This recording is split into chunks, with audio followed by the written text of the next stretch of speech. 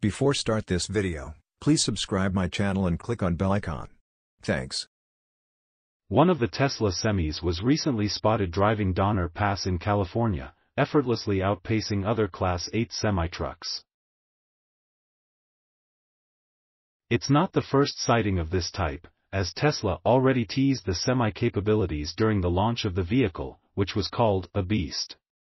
Twitter user Zanagler, at Hinrich Zane, who shared new videos, explains that Tesla is testing some of its early semi-vehicles, fully loaded, to CWHE. I had some thoughts about how to, safely, capture some video of the Tesla Semi versus diesel semis going up a steep grade. The average grade ascending the Donner Pass is 7% up to 16%. This is some of what I captured. Hashtag Tesla Hashtag Tesla Semi Tesla runs these semis daily, fully loaded up this grade and on other routes to uncover any issues and remediate them before they begin volume delivery. More on this later. With a powerful tri-motor powertrain, the Tesla Semi is promised to accelerate from 0 to 60 miles per hour, 96, 5 kilometers per hour, in just 20 seconds, when fully loaded, which means 82,000 lbs, 37, 195 kilograms, gross combination weight, GCW. As we can see, Tesla's Semi is capable enough to overtake other semi-trucks, or cars, at highway speeds, even when driving uphill. Along the route, a surplus of power can be an important feature from both safety and comfort perspectives.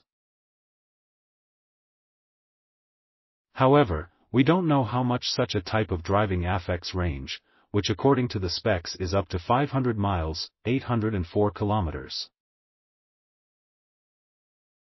Higher speed means higher energy consumption, while acceleration to reach a particular speed can be partially offset by regenerative braking.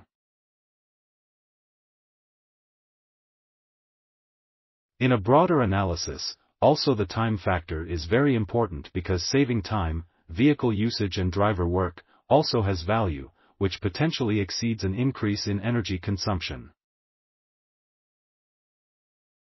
Tesla Semi-Specs, 2022 fully loaded at 82,000 lbs, 37, 195 kilograms, gross combination weight range, about 300 miles, 483 kilometers, or 500 miles, 804 kilometers, two battery options, energy consumption, less than 2 kilowatt hours per mile, 1. 24 kilowatt hours per kilometer, estimated battery capacity, based on range and energy consumption lower the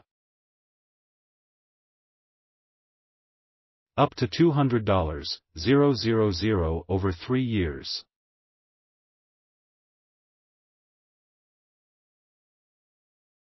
Thanks for watching. Credits to InsideEVs.com Please like my video and subscribe EVpedia for more electronic vehicle news and updates.